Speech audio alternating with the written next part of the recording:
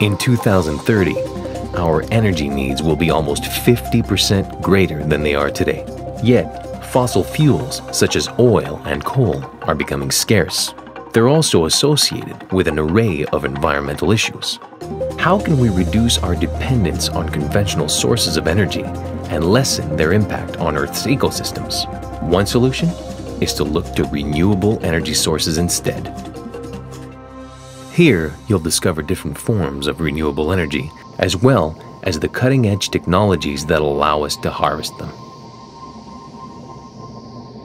Renewable energy comes from energy sources that regenerate naturally, such as the sun, the wind, water in motion, biomass, and the heat given off by Earth itself.